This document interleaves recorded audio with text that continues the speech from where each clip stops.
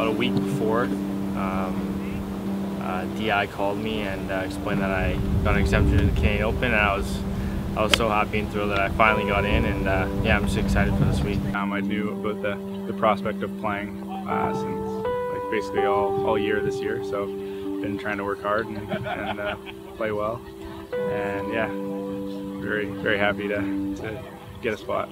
Um, well, on 18 yesterday in regulation, I had like a 15 footer, and I knew the difference between four and five under was probably going to be big. So I was fortunate enough to make that. And then in the playoff, there was uh, three guys for one spot. Uh, we both we all parred the first two holes, and then one guy hit it in the water off the tee on the third hole, and me and another guy ended up hitting it. I hit it to about six feet, and he hit it to probably 12 or 15 maybe, and he just missed his. And then uh, I knew it was my time to close it out, so I rolled it right in the middle, and yeah, that was it.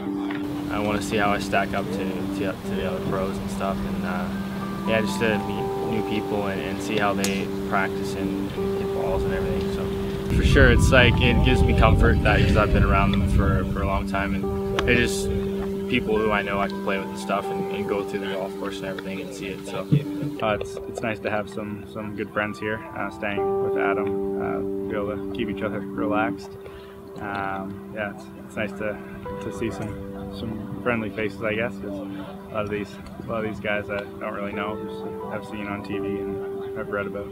Um, I mean, score-wise, not really. Just kind of play my own game and see what happens, but just um, learn from this experience and take it with me forward and kind of see what I'm doing well and what I need to work on. It's cool. It's nice to have some other guys that you obviously know and uh, that I'm, I'm good buddies with, so it's nice to have them around.